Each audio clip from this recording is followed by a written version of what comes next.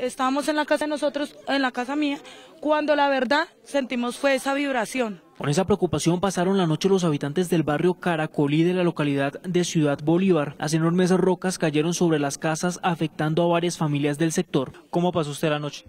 La verdad, acá aguantando frío y con los niños ahí pues aguantando frío, tomando tinto, no hemos comido nada. Pasamos una noche de perros, diciéndolo así, porque mire, pues mis hijos son los que están acostados ahí.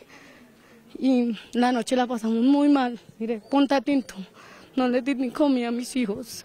La emergencia se mantiene. Niños y adultos pasaron su noche soportando el frío capitalino, pero se rehusan a salir de sus viviendas, pues aseguran no tener a dónde ir. Nosotros no vamos a desalojar hasta que no nos den una solución estable. Si nos van a dar un beneficio de una vivienda, ¿por qué no nos la dan de una vez? El reporte que emitió IDIGER es que el deslizamiento se produjo por el rompimiento de mangueras artesanales generando inundaciones internas. Producto pues de las acciones que se identificaron el día de ayer y pues que continuamos adelantando el día de hoy, desde el IGER se presta, desde la alcaldía de Bogotá, desde a través del IGER, se presta un apoyo de ayuda humanitaria para que las personas pues tengan un apoyo económico y desplazarse hacia otro sector y no continuar en las viviendas que se encuentran en condición de riesgo. La preocupación de los afectados es que las autoridades no les brinden las ayudas pertinentes. Sin embargo, estas aseguraron que serán reubicados. Por el momento, los organismos de socorro no descartaron nuevos deslizamientos. La alerta continúa.